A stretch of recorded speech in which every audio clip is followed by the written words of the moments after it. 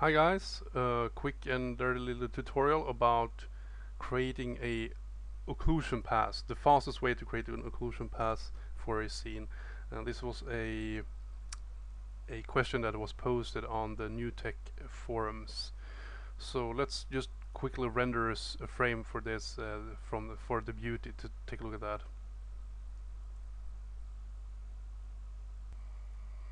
Okay, so so this is the beauty. And then I would want to output a separate occlusion pass and that's essentially the, the question now. What is the fastest way to set that up? Well first of all I will just go ahead and save this out as a, a new scene file here. I will call it occlusion. And instead of actually doing like creating new versions of all these objects uh, and and replace it on the shader level I will use Denis Pontonnier's pixel filter to create the occlusion pass. So if I hit Control F8 and on the pixel filter here I will add uh, the, the node pixel filter.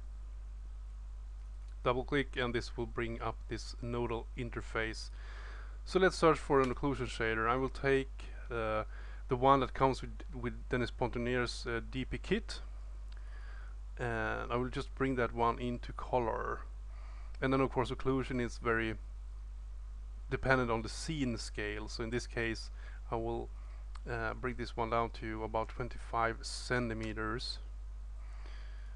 And uh, an important thing also is to, to, to double click this pixel filter output here and enable ray trace uh, global 3D shading and multi-threaded uh, support for the perspective camera and that's essentially what you need to do.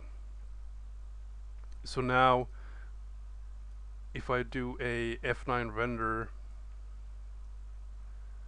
we can see that oops we have global illumination enabled which slows this down of course. So let's abort this because there are a bunch of things now that I can turn off here for this scene.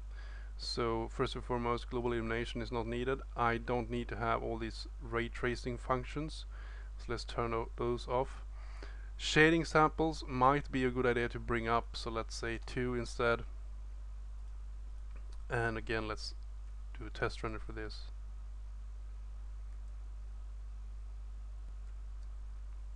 And let's take a look at that. So there is the occlusion pass, and well not now it's just a matter of uh, making sure that you set up the output the, the way you wanted and so on and so forth. That is probably the easiest way to create a occlusion pass without actually having to touch any shaders or anything like that. So cheers guys.